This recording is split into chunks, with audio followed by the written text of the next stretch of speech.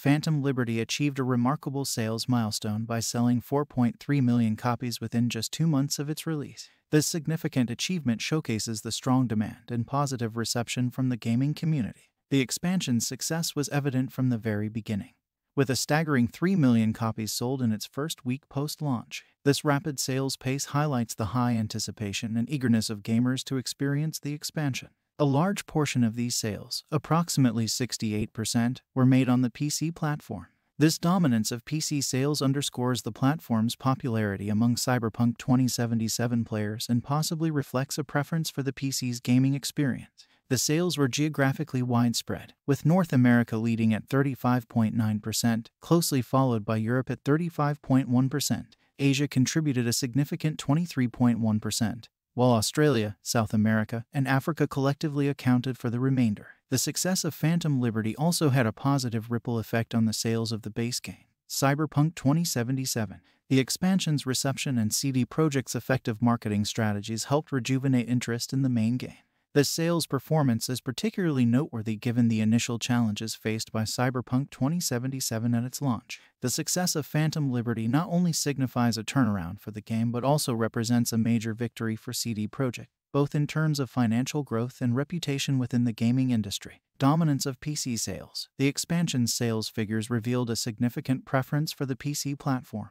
A remarkable 68% of the total copies of Phantom Liberty were sold on PC. This high percentage is a clear indicator of the platform's popularity among the game's player base. Why PC platform dominates. There are several factors that could contribute to this preference for PC. Technical performance. PCs often offer superior hardware capabilities compared to consoles, allowing players to experience better graphics and smoother gameplay. For a visually intensive game like Cyberpunk 2077, this aspect is crucial. Modding community. The PC gaming community is known for its active modding scene players might prefer PC to take advantage of mods that enhance or personalize the gaming experience. Control preferences. Some players prefer the precision of mouse and keyboard controls for RPGs, which could sway their choice towards PC. Comparison with console sales. While the specific figures for console sales were not provided, their combined sales comprised the remaining 32% of the total. This suggests that while there is a significant audience for Cyberpunk 2077 on consoles, the PC platform had a distinct edge in terms of sales for this expansion.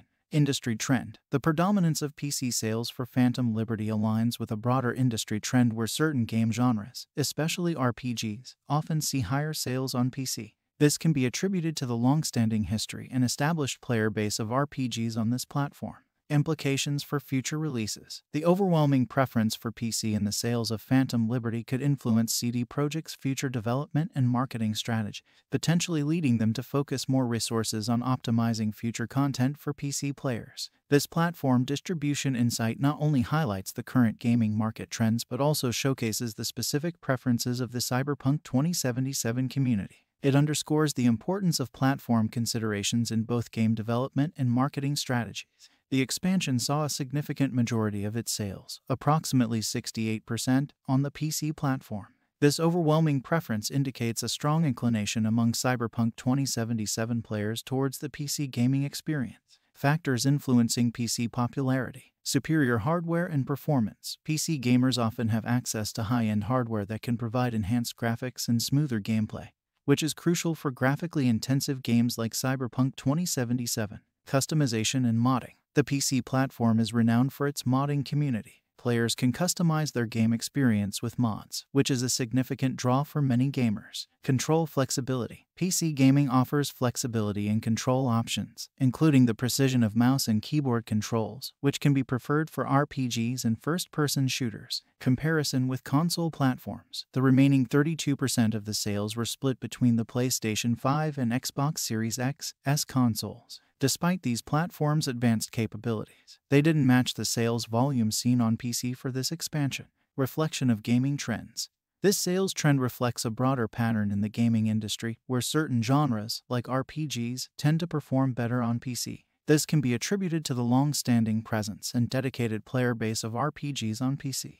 Marketing and development implications. The dominance of PC sales for Phantom Liberty could potentially influence CD Projekt's future development decisions.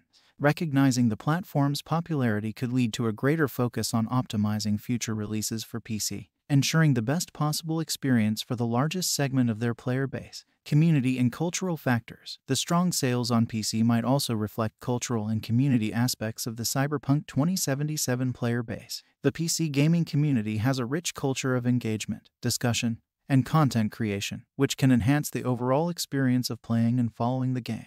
These insights into the platform North America's leading share. North America emerged as the top region for sales, accounting for 35.9% of the total. This significant percentage underscores the strong popularity of Cyberpunk 2077 in this region, possibly reflecting cultural preferences, marketing effectiveness, and the widespread availability of gaming infrastructure. Europe's close pursuit, Europe was a close second in sales, contributing 35.1% to the total. This nearly equivalent share suggests a similarly high level of enthusiasm and engagement with the game across various European countries, where RPG gaming has a strong tradition and fan base. Asia's notable contribution Asia made a substantial contribution to the sales, with 23.1% of the total. This figure reflects the growing influence and engagement of Asian markets in the global gaming industry, especially in regions like Japan, South Korea, and China, where gaming is a major part of popular culture. Other regions' contributions. The remaining sales were spread across Australia, South America, and Africa.